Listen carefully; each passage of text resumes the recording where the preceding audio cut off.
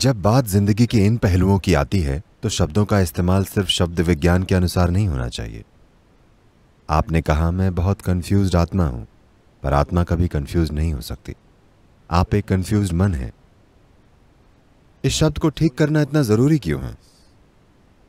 क्योंकि अगर आप इन दोनों में फ़र्क नहीं समझेंगे मान लीजिए कि आप अपने डॉक्टर के पास गए, क्योंकि आपको हृदय समस्या है, और आपने कहा, डॉक्टर मेरे लिवर में कुछ परेशानी है। वे किसी और चीज़ का इलाज कर देंगे। है ना? है ना? इसलिए बहुत ज़रूरी है। प्रश्न केवल अर्थ विज्ञान का नहीं है, बाल की खाल खींचने की भी बात नहीं है। यह बस ऐसा ही है। आपको हार्ट प्रॉब्लम है, लेकिन आप लेवर के डॉक्टर के पास चले गए। ऐसे कोई समाधान नहीं निकलेगा क्योंकि ऐसे परेशानी और बढ़ जाएँगी। क्योंकि वैसे भी अगर एक बार आप वहाँ गए तो उसे लिवर की सर्जरी करनी ही पड़ेगी, चाहे आपको लिवर की समस्या हो या ना हो। यह उस बिज़नेस का हिस्सा है, ठीक है? इसलिए यह बहुत महत्वपूर्ण है। आपकी आत्मा कंफ्यूज नहीं हो सकती। और पहली बात यह है कि आप आत्मा के बारे में बात मत ही कीजिए, क्योंकि आपको इसका अनुभव ही नहीं हुआ है। और अगर आप उस बारे में बात करते हैं जिसका आपको अब तक अनुभव ही नहीं हुआ है तो अगर कड़े शब्दों में कहें तो ये झूठ बोलने के बराबर है। इसलिए ये पहला काम है जो आपको करना चाहिए, आपको झूठ बोलना बंद कर देना चाहिए। जो आपके लिए सच नहीं है, उसके बारे में बात ना करें। हो सकता है ये गीता में कहा गया हो, या वेदों में लिखा गया हो, और हर कोई इसके बारे में बात कर रहा हो। इससे कोई फ़र्क नहीं पड़ता। अगर वो आपके लिए सच नहीं है तो उसके बारे में बात ना करें। आपको आत्मा, स्वर्ग और भगवान के बारे में बात नहीं करनी चाहिए क्योंकि ये चीज़ें आपके लिए फ़िलहाल सच नहीं है। अगर आप इन चीज़ों के बारे में बात नहीं करेंगे तो आपके अंदर एक खास इच्छा पैदा होगी जो आपको वहाँ तक ले जाएगी। अगर आप उसके बारे में बात करेंगे तो आप गपशप से संतुष्ट हो जाएँगे। असली चीज़ आपके साथ कभी नहीं होगी। आपको गपशप से संतोष हो जाएगा। गपशप बहुत संतोष देती है। आप जानते ही हैं। Yes, हाँ। बहुत से लोग गप मारकर सच्चाई से बचते हैं। बहुत से लोग सिनेमा जाकर सच्चाई से बचते हैं। सिनेमा का मतलब है किसी की गपशप, है ना? किसी की कहानी। मैं इसके खिलाफ नहीं हूँ, पर अगर आप इससे अपने जीवन को बेहतर बना रहे हैं तो ये ठीक है। लेकिन अगर आप इसका उपयोग अपने जीवन से बचने के लिए कर रहे हैं तो ये बड़ी समस्या है है ना? और बहुत से लोग इसका उपयोग जीवन से बचने के लिए कर रहे हैं। वहाँ आपको कुछ करने की ज़रूरत नहीं है। बस एक अंधेरे कमरे में जाकर बैठ जाइए और एक बाल्टी पॉपकॉर्न खरीद लीजिए। कोई प्रेम करेगा, कोई लड़ेगा, कोई जिएगा, कोई सब कुछ करेगा। आपको बस पॉपकॉर्न खाना है और सब कुछ होता रहेगा। आप रो सकते हैं, आप हंस सकते हैं और खत्म होने पर बाहर आ सकते हैं। और वे आपको बताते भी हैं कि फ़िल्म खत्म हो गई। आजकल वो लोग दी एंड नहीं दिखाते। आपको खुद समझना होता है कि फ़िल्म पूरी हो गई। एक समय था जब वे लिख देते थे दी एंड क्योंकि हो सकता है आपको समझना है और आप अगला शो देखने लगे। इसलिए खुद को धोखे में मत रखिए। खुद के लिए जो सबसे छोटी चीज़ आप कर सकते हैं वो ये है कि खुद से झूठ मत बोलिए। आप अगर दूसरों से झूठ बोलना बंद कर दें तो आपके आसपास का जीवन भी ज़बरदस्त तरीके से बदल जाएगा। लेकिन वो मैं आप पर छोड़ता हूँ, ओके? वो आपका अपना डिसीज़न है। लेकिन कम से कम इस एक व्यक्ति के साथ सौ प्रतिशत सीधी बात करें, कोई बकवास ना करें। आपको ऐसा करना ही चाहिए, क्योंकि ये व्यक्ति इसका अधिकारी है। और कम से कम इसके लिए इतना करना आपका फ़र्ज़ बनता है। मुझे नहीं पता कि आप किस तरह की सामाजिक और अन्य परिस्थितियों में हैं। मुझे नहीं पता कि आप दूसरों से झूठ बोलना बंद कर सकते हैं या नहीं। अगर आप ऐसा कर पाए तो आपके आसपास के जीवन में भी ज़बरदस्त सुधार आएँगे। अगर आप अपने आसपास ऐसा कर पाते हैं तो बढ़िया है। आप कोई अद्भुत चीज़ रच पाएँगे। अगर ऐसा नहीं हो पाया तो कम से कम इस एक व्यक्ति के साथ, इस व्यक्ति को झूठ मत बोलिए। कम से कम इस एक व्यक्ति के साथ सौ प्रतिशत सच्चे रहिए। ऐसा बस इसलिए हो रहा है, क्योंकि एक समय में, इस संस्कृति में एक जीवंत आध्यात्मिक वातावरण था। उस समय से अब तक यह बहुत कम हो गया है। वो ज़बरदस्त आध्यात्मिक ऊर्जा तो चली गई, लेकिन वो सारे शब्द आज भी मौजूद हैं। आप जहाँ भी जाते हैं, लोग अंतरात्मा, आत्मा, परमात्मा की बातें करते हैं। शब्द अब भी आम भाषा और सामान्य वातावरण में चल रहे हैं, पर वो आग बुझ गई है। एक तरह से ये एक सकारात्मक प्रभाव भी हो सकता था लेकिन ये एक नकारात्मक प्रभाव भी है क्योंकि आप सबसे ऊँची चीज़ों के बारे में सांसारिक तरीके से बात कर रहे हैं। गपशप की तरह बातें करने से सारी ऊँची चीज़ें गायब हो जाएँगी। चाय की दुकान में लोग गीता के बारे में बात करते हैं। Nothing wrong with it. चाय की दुकान में कोई खराबी नहीं है। लेकिन उसमें पवित्रता और फोकस की कमी है।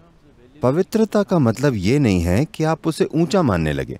पवित्रता को इस अर्थ में समझें कि अगर आपको दूध में हाथ डालना है तो आपको अपने हाथ साफ़ करने होंगे, है ना? वरना दूध खराब हो जाएगा। ये भी वैसा ही है।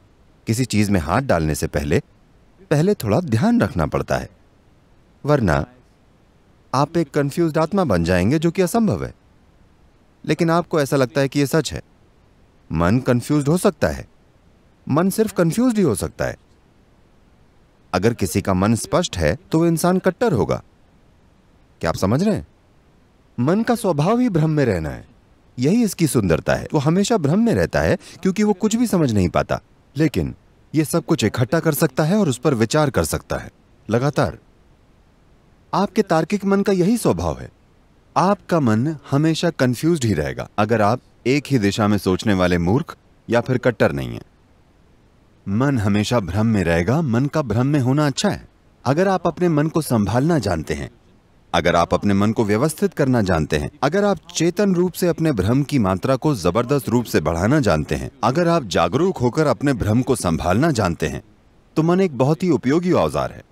अगर आप ऐसा मन चाहते हैं जो भ्रम में ना हो तो आप दिमाग की सर्जरी करवा सकते हैं। आधा दिमाग निकलवा दीजिए, फिर भ्रम चला जाएगा। सब साफ़। आप जितने बुद्धिमान हैं, उतना ही हैरानी का भाव होगा। उतने ही आप हर चीज़ को लेकर भ्रम में होंगे। आप जीवन को जितनी गहराई से देखेंगे, उतने ही भ्रम में पड़ जाएँगे। और ये अच्छी बात है। सिर्फ़ ऐसा इंसान जो किसी चीज़ पर ध्यान नहीं देता, जो बस एक तरीके से देखता है, उसे हर चीज़ के बारे में पक्का विश्वास होता है। अगर आप ऐसा करते हैं, आप या तो मूर्ख होंगे या फिर कट्टर, और इन दोनों में ज़्यादा फ़र्क नहीं है। इसलिए, अभी आपका दिमाग कंफ्यूज है क्योंकि यही दिमाग का नेचर है। आपको सीखना पड़ेगा कि आप किस तरह से कंफ्यूजन का फ़ायदा उठा सकते हैं। अगर आपका दिमाग कंफ्यूज नहीं है तो इसका मतलब है कि यह लगातार ठीक से काम नहीं कर रहा है। ये एक ठहरा हुआ दिमाग है। आपका दिमाग एक कॉन्क्रीट ब्लॉक बन गया है, जो हर चीज़ के बारे में निश्चित है। नहीं तो लगातार आप ज़्यादा से ज़्यादा जानकारी ले रहे हैं तो ये हमेशा कंफ्यूज रहती है, क्योंकि ये हमेशा उससे अधिक सूचनाएँ प्राप्त कर रहा है जितनी ये कर सकता है। बहुत सारी सूचनाएँ, इतनी ज़्यादा सूचना। अगर आप देखें, अगर आप इस कमरे की चीज़ों को थोड़ा ध्यान से देखेंगे तो आपको ऐसी चीज़ें दिखेंगी जिनके बारे में आपने कभी नहीं सोचा होगा। आप समझ रहे हैं? अगर आप बस किसी एक चीज़ को देखें तो ऐसा होने लगेगा। बात बस इतनी है कि लोग बस ऐसे देखते हैं और उन्हें कुछ नज़र नहीं आता। अगर आप किसी चीज़ पर अच्छे से ध्यान दें तो आप देखेंगे कि एक सरल सी चींटी जीवन भर आपका ध्यान अपनी ओर खींच सकती है। उसमें इतना कुछ है। तो आसपास की हर चीज़ पर अगर आप भरपूर ध्यान दें तो आपको इतनी जानकारी मिलेगी कि किसी का भी मन उसे समझ नहीं सकता। जो मन ध्यान नहीं देता, उसे ही लगता है कि उसे सब पता है। ध्यान देने वाला मन ब्रह्मांड की हर छोटी सी छोटी चीज़ के बारे में भ्रमित होता है। और ऐसा ही होना चाहिए। आपको भ्रम से दुखी नहीं होना चाहिए। आपको समझना चाहिए कि अगर आप हमेशा भ्रम में हैं तो आपकी बुद्धि काम कर रही है। हाँ। तो जब आप अपनी आत्मा और मन को अलग अलग कर लेते हैं, वैसे आपके अनुभव में तो आत्मा का अस्तित्व ही नहीं है। आप देखेंगे कि मन को हर दम, हर दिशा से बहुत सी चीज़ें मिल रही हैं, हर समय, जागते हुए और सोते हुए भी। हमारी पाँच इंद्रियाँ हमेशा अनुभव करती रहती हैं। ज़्यादातर लोग इस बारे में जागरूक नहीं होते तो उनका जीवन ठहरा हुआ और बोरिंग बन जाता है। भ्रम होने का मतलब है कि संभावना बाकी है, अंतिम नतीजे का मतलब है मृत्यु। इसलिए अंतिम नतीजे पर पहुँचने की और भ्रम को दूर करने की कोशिश मत कीजिए। भ्रम अच्छा है। इस समय ऐसी चीज़ों की कल्पना मत कीजिए जो सत्य नहीं है। भ्रम इसलिए होता है क्योंकि आज तक कोई भी इंसान ब्रह्मांड या जीवन की प्रकृति को अपने मन में समझ नहीं पाया है। आप जीवन बन सकते हैं और जीवन को जान सकते हैं लेकिन जीवन को कभी समझ नहीं सकते। कभी भी नहीं आप जीवन को कभी समझ नहीं सकते। लेकिन अगर आप पूरी तरह से जीवन के एक अंश बन जाएँ, तो आप जीवन को उसके असली रूप में जान जाएँगे। तो जीवन को जानने का एक ही तरीका है खुद जीवन बन जाना। क्या आप जीवन हैं? आप आत्मा हैं या जीवन हैं? आप जीवन हैं या नहीं? आप हैं। तो वही बन जाएँ। फ़िलहाल आप जीवन नहीं हैं। आप विचारों, भावनाओं, धारणाओं, राय और पूर्वाग्रहों का एक बंडल हैं। ये चीज़ें आपके अपने जीवन में ज़्यादा शक्तिशाली हैं, है ना? हाँ या ना? आपकी जीवंतता से ज़्यादा जगह आपके विचार और भावनाओं ने घेरी हुई है।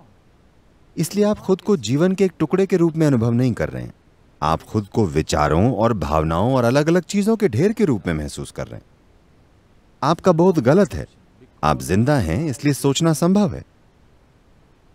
क्या आप समझ रहे हैं? आपके सोचने की वजह से आपका अस्तित्व नहीं है। आप ज़िंदा हैं, इसलिए आप चाहें तो सोच भी सकते हैं। लेकिन फ़िलहाल, विचार प्रक्रिया ने इतना विवश कर दिया है कि लोगों को लगता है कि वो जीवन से भी ऊपर है। ऐसा नहीं है। जीवन से पहले आपके विचारों का अस्तित्व नहीं हो सकता।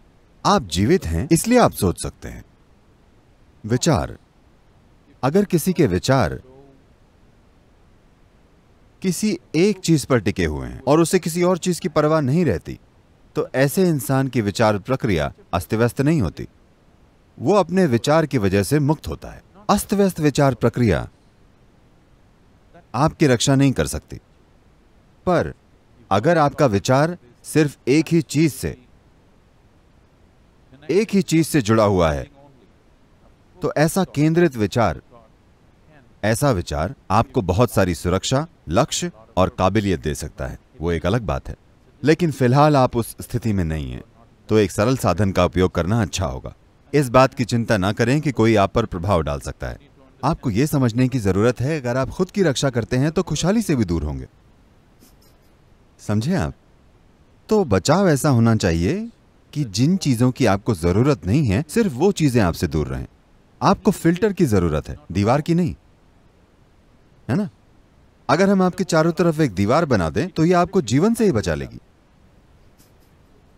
बहुत सारे लोग यही कर रहे हैं।